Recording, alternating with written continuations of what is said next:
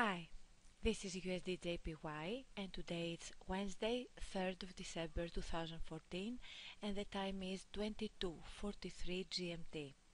I'm Sofia Stavropoulou and this is a video signal for ForexID Academy members and FXholics Forex Signals apps users. I'm using Ichimoku Kinko We see that the pair is in, on a wild, wild bullish rally and nothing seems uh, able to stop it.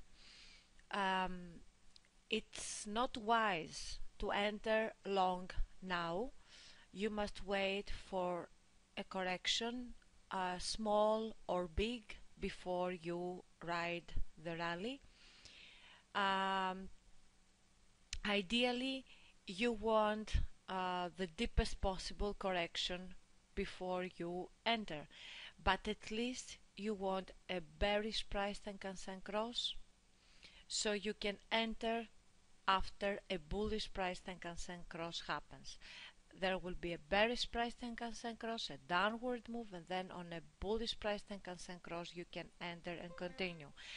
The bearish price Tenkan-Sen cross I'm talking about happened here, and then you could have entered here after the bullish price Tenkan-Sen cross and ride the, the trend. Now um, let's go down to H1. It doesn't look like it wants to go down for now to make the correction. We'll see. On M30 it's a very shallow, this is a very shallow correction we had here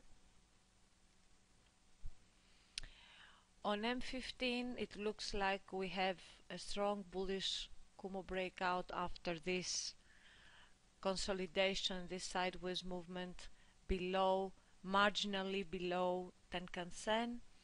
Uh, you may want to jump long now. Um, uh, the leading the leading Kumo, the edge of the leading Kumo is sharp pointing upwards.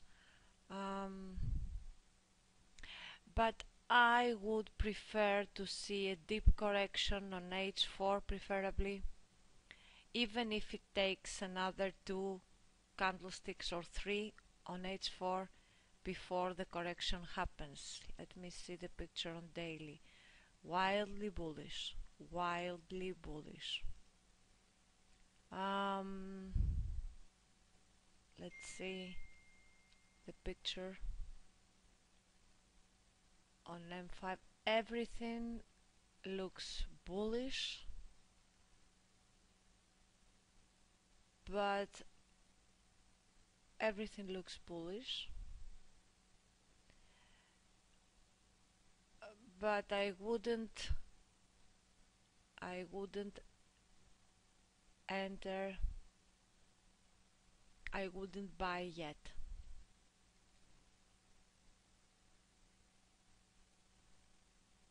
although uh, I see that Tenkan-sen on uh, H4 and Kijun-sen are away from each other and, and yet they are clearly sloping upwards and the leading Kumo is uh, strongly bullish. Uh,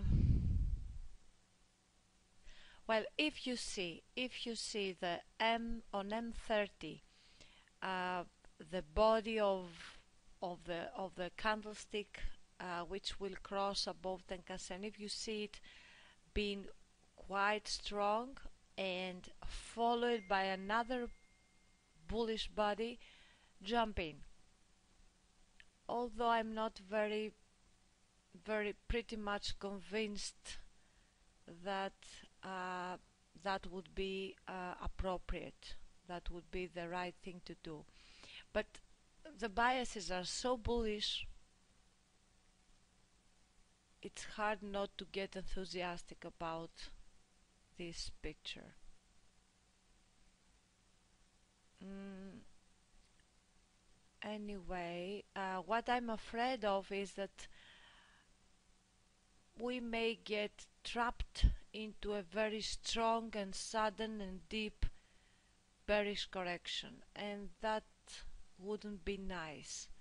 So it's uh, we we'd rather miss uh, two H4 candlesticks going upwards than getting trapped into a sudden and deep bearish correction.